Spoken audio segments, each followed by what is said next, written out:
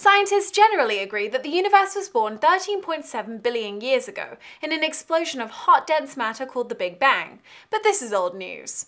Really old news. Perhaps the more pertinent question is, what happens next? One billion years from now, the sun will become so hot that all the water on Earth will boil and evaporate. And five billion years from now, the sun will begin to expand into a red giant, consuming the Earth. And about a billion years after that, it will shrink down into a white dwarf and spend the next few billion years cooling off.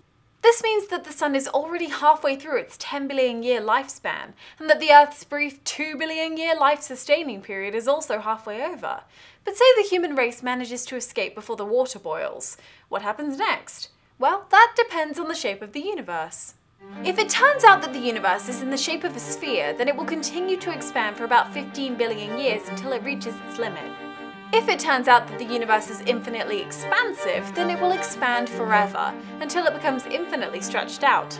And if it turns out that the universe is flat, the universe will expand forever, but at a continually slower rate.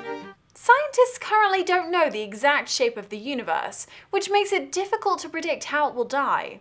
Two likely accomplices in our demise are dark matter and dark energy.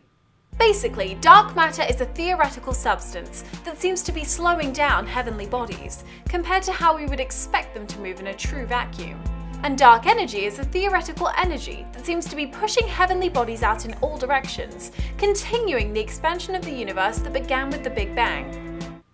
So depending on the true nature of dark matter, dark energy, and the shape of the universe, here are the prevailing theories for how it all could end.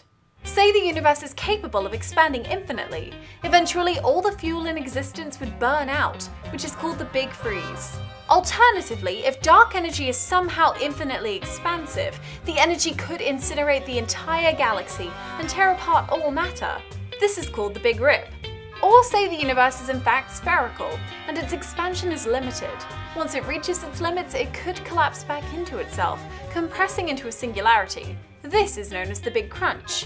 And finally, say that the Big Crunch causes some sort of fundamental change to the wibbly wobbly timey wimey stuff in the universe's string membrane, which could somehow reverse the effect of entropy and trigger another Big Bang. This would be called a Big Bounce, an infinite recursion of Big Crunches and Big Bangs. Which do you think is most likely to happen? It's certainly fun to think about, just don't think about it too much.